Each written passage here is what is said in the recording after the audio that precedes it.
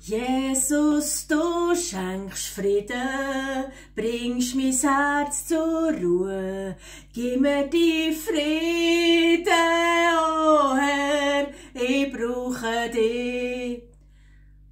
Hallo und herzlich willkommen. Diesen Frieden Gottes, den er nur schenken kann, wünsche ich dir. Ich bin heute ganz in Blond. An dieser Stelle danke an meine Schwester für die Haare für das kurze Ausleihen. Drück hier auf Stopp, um dir kurz einen Kaffee oder Tee zu machen. Nun bist du wieder zurück. Dann lass uns einen Schluck nehmen und vielleicht noch ein Kerzchen anzünden. So Licht tut auch immer gut. He?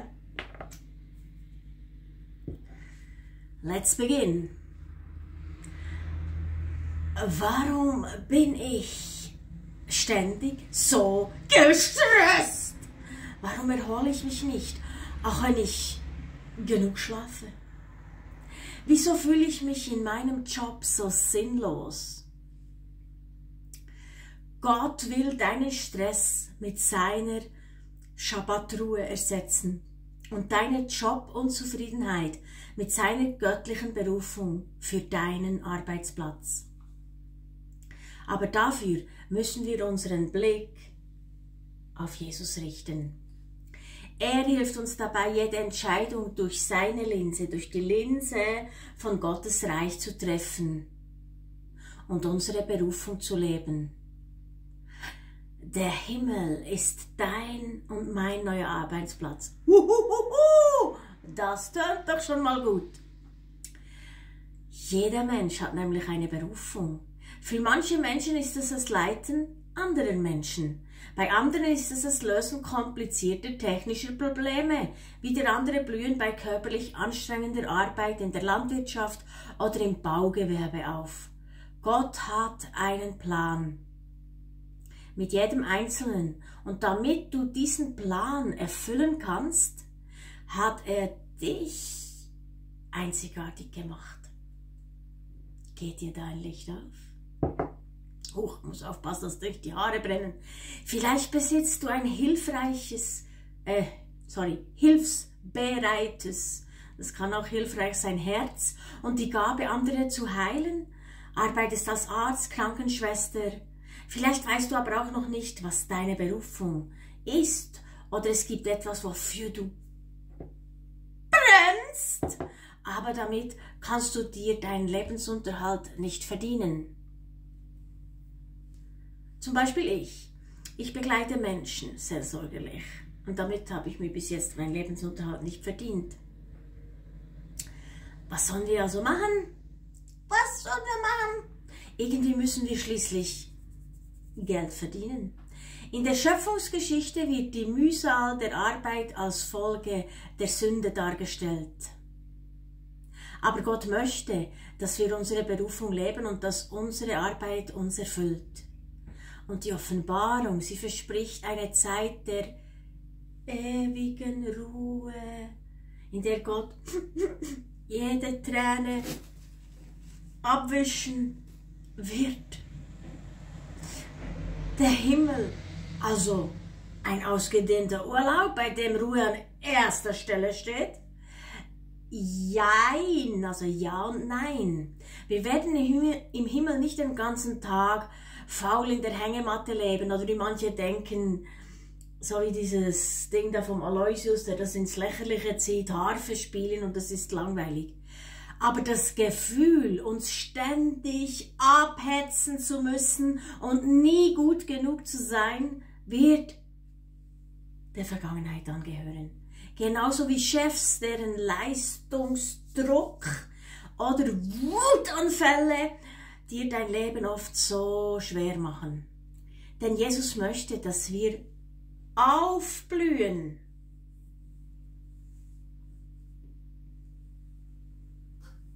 Habe ich den Faden verloren? Entschuldige.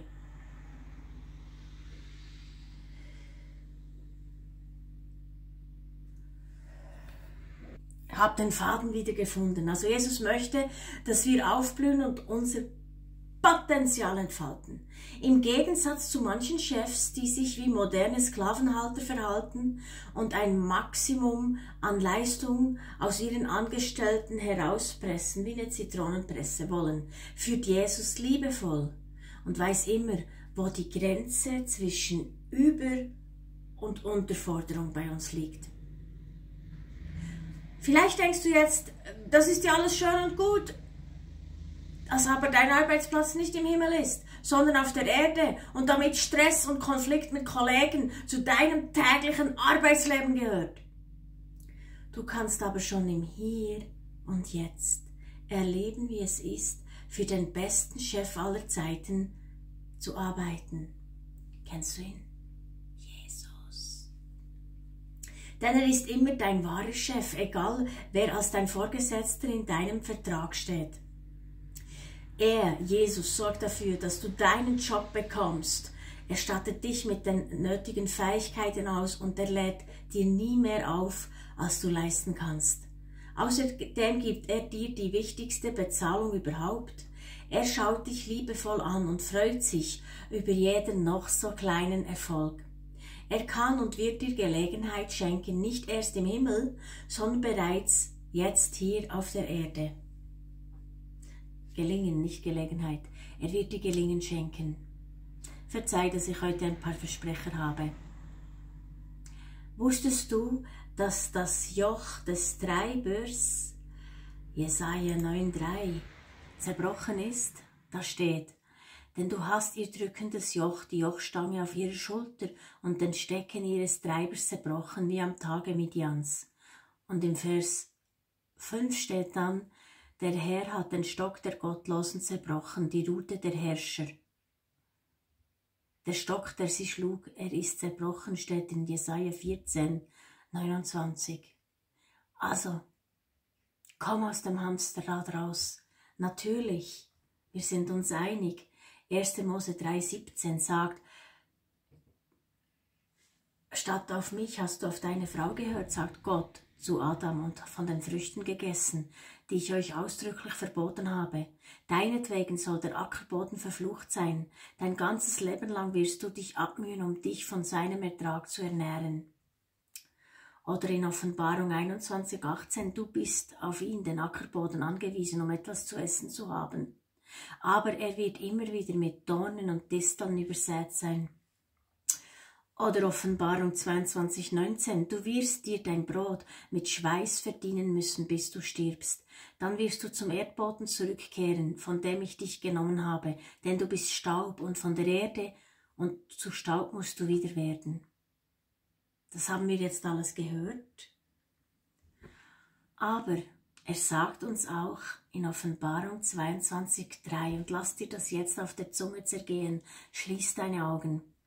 Dort, also im Himmel, wird es nichts mehr geben, was unter dem Fluch Gottes steht.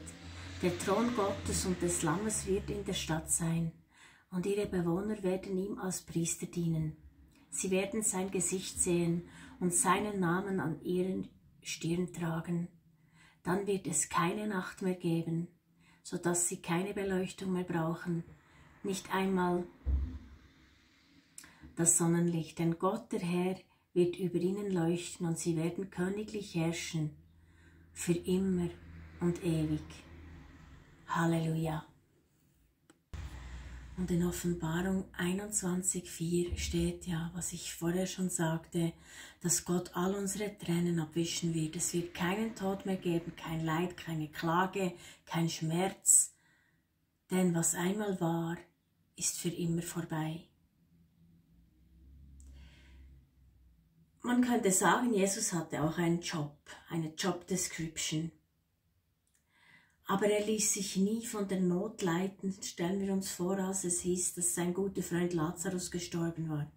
Er ließ sich nicht ins Hamsterrad sperren und mit dem Stock des Treibers drängen in seinem Job, sondern er war geistgesteuert, nicht notgetrieben.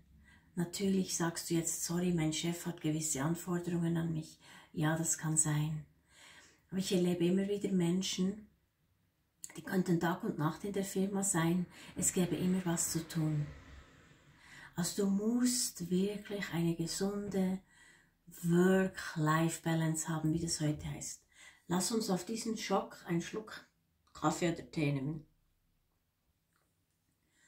Weißt du, ein gesundes, ausgeglichenes Umgehen mit Arbeit und mit Ruhezeiten. Und wir sind alle heute so gestresst, sei es auf der Arbeit, privat, mit Rechnungen, mit den ganzen Medien, die auf uns einprasseln, vielleicht gesundheitlich, gewichtstechnisch, was auch immer dein Thema ist.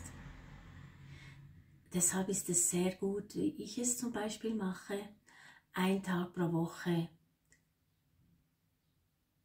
offline sein. Ich habe eine tolle Schlafmaske, sie noch nicht eingeweiht. Da steht drauf offline. Ich merke, wie mir das gut tut, einfach mal wirklich nicht erreichbar zu sein. Und früher, als ich in der freien Marktwirtschaft ein Rädchen war, bin ich sogar arbeiten gegangen, wenn ich krank war. Aber ich musste feststellen, dass niemand Danke sagt. Denn wenn du dort bist, erwarten sie die gleiche Leistung, wie wenn du gesund wärst. Sie haben nämlich nicht die Kapazität, die ganze Zeit zu denken, ja, die ist ja krank oder der ist krank. Schau mal, was ich dir mitgebracht habe. Ein Plüschherzli! Mehr als alles andere, pass auf dein Herz auf, denn es ist die Quelle des Lebens, aus ihm quillt das Leben. Also pass auf dich auf. Du lebst nicht, um zu arbeiten, du arbeitest, um dir das Leben zu finanzieren, aber Gott ist dein Arbeitgeber. Finde diese gesunde Work-Life-Balance. Es ist wie blödes Beispiel oder Vergleich Kühlschrank. Ein Kühlschrank. Ich kann nicht immer nur rausnehmen. Ich muss auch mal reintun und ab und zu abtauen. Gut, die heutigen modernen vielleicht nicht mehr so, aber stell dir eine Gefriertruhe vor. Die muss man ab und zu abtauen. Also, taue auch ab und zu ab. Tauche ab. Hey, ich wollte dir noch was sehr Wichtiges sagen, falls es dir noch keiner heute gesagt hat. Schön, dass es dich gibt. Und mit diesem Video grüße ich speziell noch Mara. Das ist das Haar, das dich interessiert. Ich komme bald vorbei. Das ist nicht Ruhm. Nein, nein. danke, danke, danke, dass es dich gibt. Und Freu dich über alle Probleme, die du nicht hast. Sei dankbar. Sei dankbar im Kleinen. Gönn dir Auszeiten. Weißt du, dieses Ich muss noch das und jenes, ob das jetzt die Arbeit oder privat betrifft, auf der Arbeit vielleicht noch eher. Du musst gar nichts. Du sollst ein guter Verwalter von dir selber, deinem Körper und deiner Zeit sein. Deshalb hilft es am Morgen über der Agenda zu brüten, indem man sagt, Jesus, zeig mir, was heute dran ist. Da muss man auch, wenn nachher der Kritiker kommt oder der Ankläger und sagt, ja, du solltest dich heute mal bei der melden, bei jenem melden, dem sagen, du, nein, ich habe mit Gott über der Agenda gebrütet und auch bevor du zur Arbeit fährst, stell das vollbrachte Weg des Kreuzes zwischen dich und den Arbeitsplatz und den Chef. Das würde dann etwas so tun. Herr Jesus Christus, ich möchte dir danken für meine Arbeit und dass du der Arbeitgeber bist. Du bist der, der mich befähigt, diese Arbeit zu tun. Lass mich heute nur hören, was du möchtest, dass ich höre und nur sehen, was du möchtest, dass ich sehe. Lass mich ein guter Arbeiter sein, dass ich auch ein Wohlgeruch für dich bin. Aber lass mich die Arbeit auch nicht mit nach Hause nehmen, sondern die Arbeit auf der Arbeit lassen. Ich hole mir deine Perspektive jetzt ab auf meine Arbeitskollegen, mein Chef und mein Umfeld und ich stelle das vollbrachte Werk des Kreuzes zwischen mich und jede Macht, sei sie sichtbar oder unsichtbar in Jesu Namen. Ich bin nicht stressgetrieben, notgetrieben, sondern Geist geführt und Geist gesteuert in Jesu Namen. Amen. Du kannst mir eine große Freude machen, indem du dieses Video likest. Es taucht nämlich dann im Algorithmus auf der anderen. Es vielleicht sogar teilst für neue Abonnenten. Denn nicht nur, weil ich es selber mache, finde ich es einen guten Kanal. Ich finde es einfach einen guten Kanal, weil, hey, ob du es glaubst oder nicht, ich schaue unregelmäßig aktuell meine Videos an und wenn ich dann höre, dass ich erzähle oft, dann denke ich, wow, das kann nicht von dir gewesen sein, Andrea, das muss Gott gewesen sein. Und das ermutigt mich. Und ich möchte viele Menschen ermutigen. Ich definiere mich nicht über Anzahl Abonnenten. Das habe ich behind me gelassen.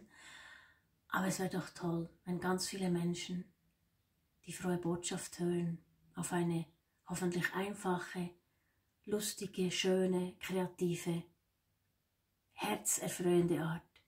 In diesem Sinne, du bist gesegnet, um ein Segen zu sein. Tschüssi, Büssi.